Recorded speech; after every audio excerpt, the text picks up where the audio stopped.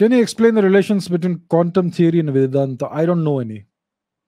See, I am I am not an expert in Vedanta by by any stretch of the imagination.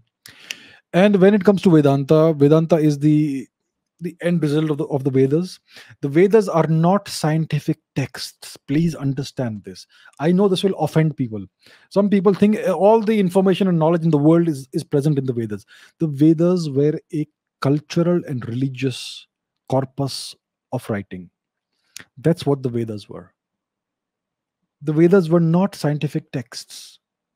There is no science in the Vedas the Vedas speak about Indian society from God knows how many thousands of, of years ago. And beyond that, I have not really studied Vedanta in great depth. So, so from so from my limited limited perspective of very small knowledge, I can say I know nothing about this. And I don't see any relationship between quantum theory and Vedanta or the Vedas. Now, many people who have studied the Vedanta, Vedanta, they say there is quantum this and quantum that the only person who can authoritatively speak about this is someone who has studied quantum theory in great detail and also studied the Vedas and Vedanta in great detail. I know no such person.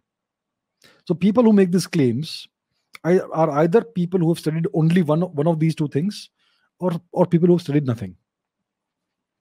So please don't take this very seriously. And please don't get offended at my frank and candid remarks. I have the greatest amount of respect, as you would know, I hope, for Indian culture. So it's not it's not about that.